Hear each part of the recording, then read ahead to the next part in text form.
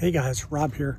Uh, as uh, most of you already know, uh, recently lost my job, but uh, I'm thinking, you know, trying to plan out here long term when funds are a little short. Uh, I'm going to start trying to do some more of my own uh, maintenance and such on the vehicles.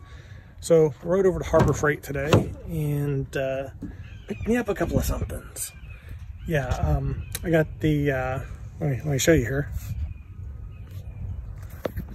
Picked up the Daytona three ton jack, a nice yellow one, the uh, heavy duty, super duty, and uh, picked up a couple of six uh, six ton jack stands. Uh, should support my truck, and uh, this particular jack is uh, the low low rise version, so it should should fit up under not only this vehicle but my Fiat 500 as well. Anyway, uh, shh, don't tell Jeannie. Um, she'll probably hit me in the head with a frying pan. She knows I'm spending money. But uh, anyway, just wanted to say hey, let you guys know that I'm still out here and uh, yeah, still trying to trying to sell my house.